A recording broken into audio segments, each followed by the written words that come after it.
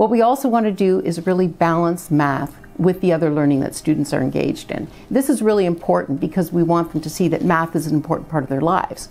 So we've incorporated language arts, for example. We've included four read alouds. And what happens is in the lessons, the kids read through the book the first time. They use their comprehension strategies to understand the text. And this really helps set the context for the math.